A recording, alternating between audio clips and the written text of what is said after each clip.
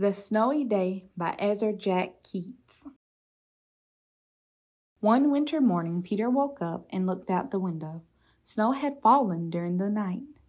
It covered everything as far as he could see. After breakfast, he put on his snowsuit and ran outside. The snow was piled up very high along the street to make a path for walking. Crunch, crunch, crunch, his feet sank into the snow. He walked with his toes pointing out like this.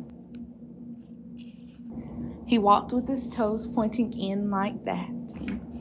Then he dragged his feet slowly to make tracks. And he found something sticking out of the snow that made a new track. It was a stick.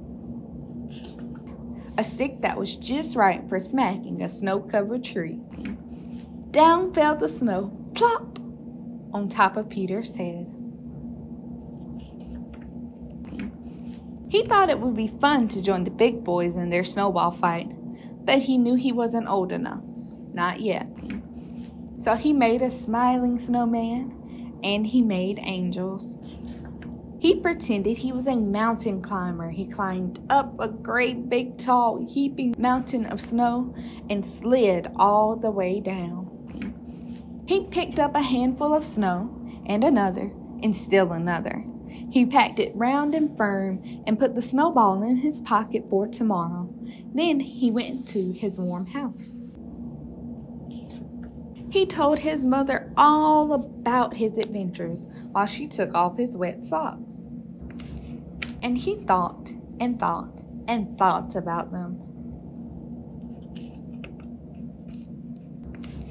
Before he got into bed, he looked in his pocket. His pocket was empty. The snowball wasn't there. He felt very sad. While he slept, he dreamed that the sun had melted all the snow away. But when he woke up, his dream was gone. The snow was still everywhere. New snow was falling. After breakfast, he called to his friend from across the hall, and they went out together into the deep, deep snow.